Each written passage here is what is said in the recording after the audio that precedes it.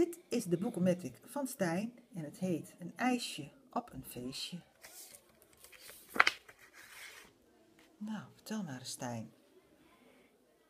Wat gebeurt hier? Wat is dat? Dus Is dat een bus?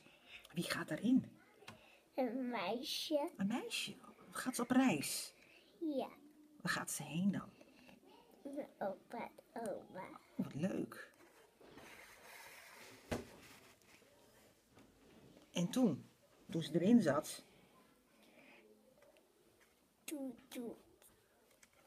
nou, dan gaat de bus weg, toet toet. Een dag tegen je papa en mama.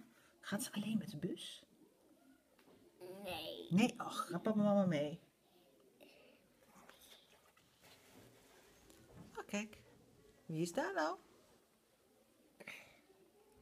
een meisje. Ja, die zat dus in de bus. Meisje. En waar is ze nu dan? Mijn opa en oma. Wat krijgt ze bij opa en oma? Taart. Taart. Yummy. Oh. En? Een ijsje.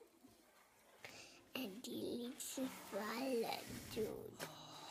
Die liet ze vallen. Wat zielig. Zou ze weer een nieuw ijsje gekregen hebben?